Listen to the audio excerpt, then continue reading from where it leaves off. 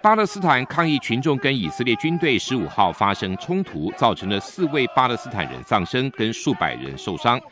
数万人上街示威抗议美国承认耶路撒冷为以色列的首都。法新社报道，美国总统川普六号宣告，他将打破数十年来美国外交政策，把大使馆移到耶路撒冷。此举不但让阿拉伯跟穆斯林国家爆发示威潮，而且引发国际谴责。巴勒斯坦伊斯兰组织哈马斯集团再度发起了愤入日的抗议活动。美国副总统彭斯几天之后即将访问以色列，不过巴勒斯坦官员取消会晤，抗议美国迁移大使馆的行动。彭斯将无法跟对方会晤。